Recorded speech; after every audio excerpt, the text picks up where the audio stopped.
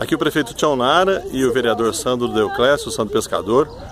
Obra importante aqui em Câmara do Rio Claro, essa parceria, essa permuta com a igreja para a construção dessa extensão do SF. É isso mesmo, prefeito? Quero agradecer muito o empenho do vereador Sandro, um vereador que sempre atuou em prol do bairro aqui do Porto.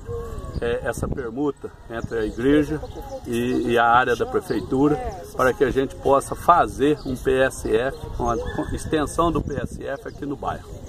É isso mesmo, Sandro? Pois é, isso aí mesmo, Wilson. Agradecer primeiramente a Deus, agradecer ao prefeito por ter ajudado nós aí, com o Juliano Queijo, esteve junto eu, o prefeito, o Juliano, esteve na casa do ancião, o prefeito se comprometeu e está cumprindo com a palavra dele, já foi feita a permuta, entendeu? Já está registrado o imóvel no terreno, desse terreno, no nome da congregação.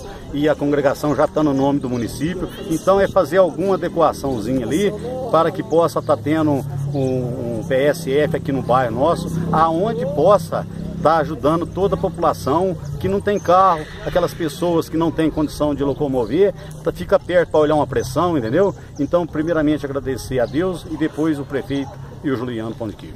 Os vereadores também que participaram não, dessa ação. Coisa, né? é, sem, sem esquecer também, não podia deixar de esquecer todos, todos, os vereadores da Câmara que foi votado por unanimidade. Agradecer eles e que Deus abençoe a todos eles. Senhor, 300 mil reais foi empenhado na questão da compra dos móveis. No final de 2019 nós tínhamos uma verba na, de convênios de 300 mil reais. Foi feita a licitação para imobiliário de todos os PSF.